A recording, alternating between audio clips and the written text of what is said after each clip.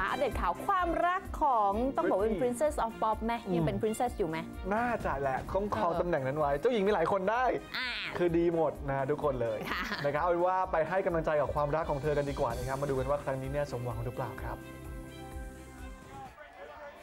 ถึงแม้ว่าจะแทบไม่เคยสมหวังในเรื่องความรักเลยนะครับ แต่หัวใจของ Britney Spears เนี่ยก็ไม่เคยว่างเช่นเดียวกันนะครับ โดยหลังจากที่เลิกรากับคนรักเก่าอย่างชาลีเอเบอร์ซอลนะครับ ที่คบกันได้เพียง 8 เดือนก่อน ก็จะเลิกรากันไปแล้ว ล่าสุดเจ้าหญิงเพลงป๊อปวัย 33 ปีนะครับ ก็ตกเป็นข่าวพบรักครั้งใหม่กับแฮร์รี่ มอร์ตันครับ นักธุรกิจหนุ่มเจ้าของธุรกิจร้านอาหาร โดยทางสำนักข่าว TMZ เนี่ยก็รายงานข่าวว่าทั้งคู่ได้ไปทานมื้อค่ำด้วยกัน เมื่อวันศุกร์ที่ผ่านมานี้เองครับ TMZ รายงานข่าวว่าแฮร์รี่ซึ่งเป็นหลานชายของอาร์นี่มอร์ตันนะครับผู้ก่อตั้ง Morton's Steakhouse นั่นเอง แล้วก็เป็น CEO ของธุรกิจร้านอาหารฮอลลีวูด hotspot Pink Taco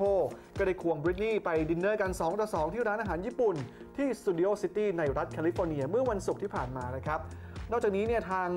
US uh, Us Weekly นะครับก็ได้ยืนยันว่า Britney Spears แล้วก็ Harry Morton กำลังเดทกันอยู่จริงๆนะครับโดยที่ Harry Morton นั้น นอกจากจะเป็นนักธุรกิจที่ประสบความสำเร็จในครอบครัวที่ทำธุรกิจร้านอาหารแล้ว เขาก็ยังเคยเดทกับซูเปอร์สตาร์หลายคนนะครับไม่ว่าจะเป็น Lindsay Lohan รวมถึง Demi Moore ด้วยนะครับ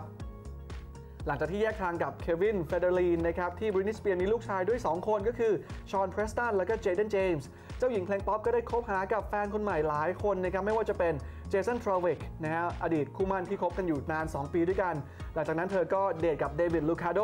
แต่ก็เลิกรากันไปแล้วนะครับ เพราะว่ามีข่าวว่าฝ่ายเดวิดเนี่ยเป็นฝ่ายนอกใจเธอนั่นเอง ส่วน Charlie Ebersol นะครับแฟนหนุ่มคนล่าสุดของเธอก็คบกันเพียง 8 เดือนเท่านั้น ก่อนที่จะเลิกรากันไป ส่วนแฮร์รี่มอร์ตันครับแฟนหนุ่มคนใหม่ของบริ t นี y สเปียร์นั้น ในตอนนี้เนี่ยทั้งคู่ก็เพิ่งจะเริ่มเดทกัน ซึ่งคงต้องรอดูกันต่อไปนะครับว่าคราวนี้ในที่สุดแล้ว เธอจะสมหวังในเรื่องความรักกับเขาสักทีหรือเปล่าครับ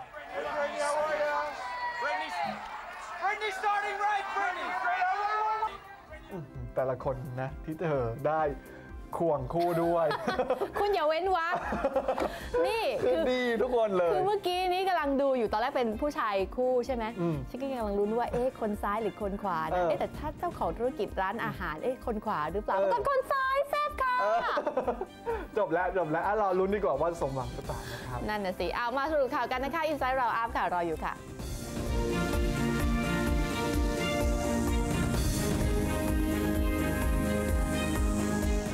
เหตุเพราะอยู่ในช่วงเตรียมงานแต่งงานทำให้หนึ่งในสาวสวยแก๊งนางฟ้าอย่างเจนสุดาปานโตต้องไปไหนมาไหนกับหวานใจไฮโซพอลสิริสันอยู่บ่อยๆนะคะจนหลายคนเนี่ยตั้งข้อคอรหาว่าเจ้าตัวติดแฟนลืมเพื่อนหรือเปล่า งานนี้เจนขอปฏิเสธแบบย้ำชัดเลยว่าไม่เคยลืมเพื่อนค่ะ และเร็วๆนี้แก๊งนางฟ้าก็กำลังจะมีนัดรวมตัวกันอีกครั้งด้วย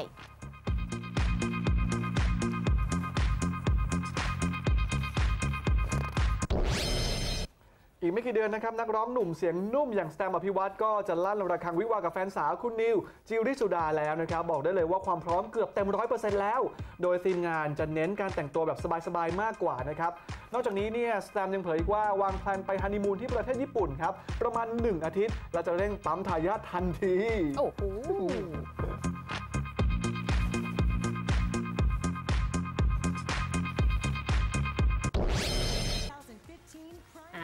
ก็ประกาศผลกันเป็นที่เรียบร้อยแล้วนะคะสำหรับ The Creative Arts Emmy Awards ประจำปี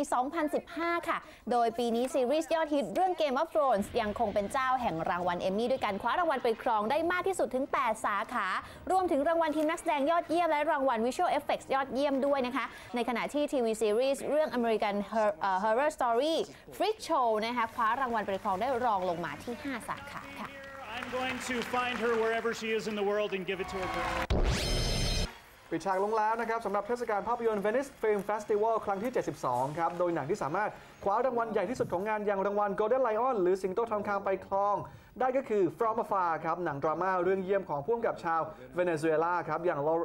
Lorenzo Vargas นะครับส่วนรางวัล Grand Jury Prize ซึ่งถือว่าเป็นรางวัลที่มีความสำคัญรองลงมาจากรางวัลสิงโตทองคำนะครับ ตกเป็นของหนังแอนิเมชันของ2ผู้กำกับชาวอเมริกันอย่าง Charlie Kaufman และ Duke Johnson ครับ ในขณะที่รางวัล Silver Lion หรือรางวัลผู้กำกับยอดเยี่ยม ตกเป็นของ Pablo Trapero ครับผู้กำกับชาวอาร์เจนตินาจากผลงานหนังเรื่อง El Clan นั่นก็ค